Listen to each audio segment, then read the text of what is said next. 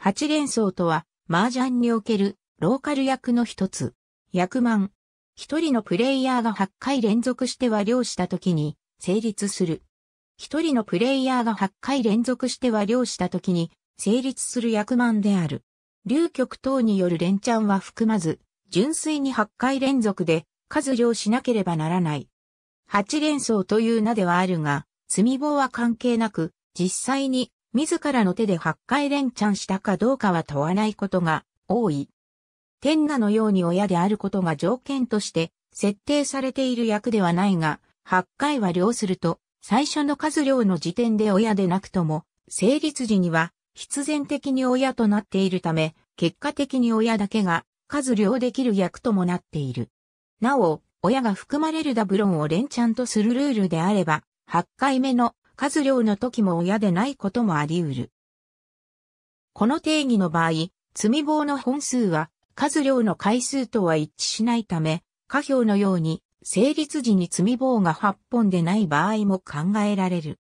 定義1とは異なり、天ナのように親であることが条件とし、8連想という名が示す通りに、親として8回以上あるいは9回以上連続で、和がった場合に役満とするルールも存在する。一部で積棒の本数が8本の時の親の数、量によって8連想が成立するルールを採用していることがある。しかし、積棒は流局でも増えるために難度が低下することとなるが、それでも出現する可能性はかなり低い。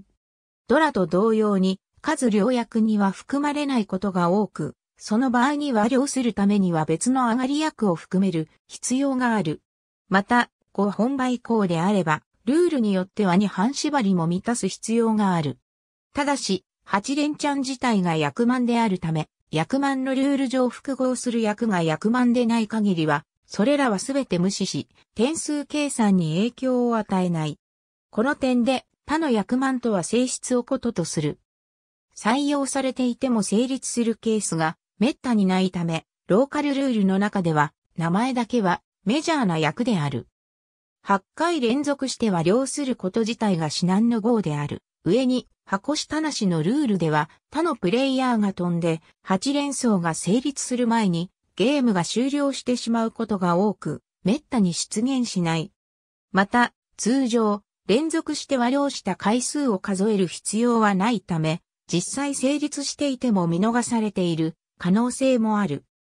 8連想を上がった後はそれ以降も8連想とすることが多いが、16回連続の上がりを次の8連想とすることもある。破壊8連想とは、麻雀におけるローカル役の一つ。8連想を阻止したこの上がりを役満にする。8連チャン自体がローカルルールであるため、適用されることは滅多にない。